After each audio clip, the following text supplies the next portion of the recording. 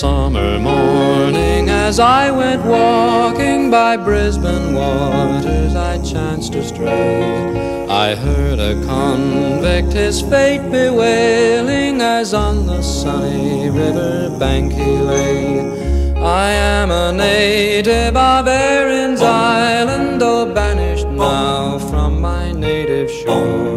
They tore me from my aged parents and from the maiden whom I adore. I've been a prisoner at Port Macquarie, at Norfolk Island and Emu Plains, at Castle Hill and at Toongabbie, at all those settlements I've worked in chains. But of all places of condemnation and penal stations in New South Wales, to Moreton Bay I have found no equal. Excessive tyranny each day prevails.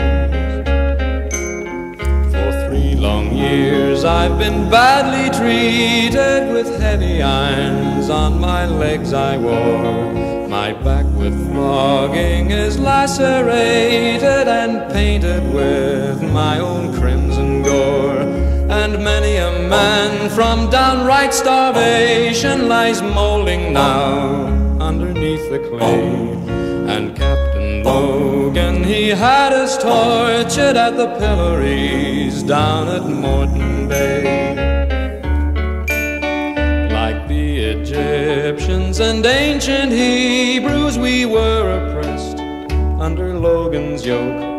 Till a native black waiting there in ambush did give this tyrant his mortal stroke. My fellow prisoners be exhilarated that all such monsters such death may find. And when from bondage we're liberated,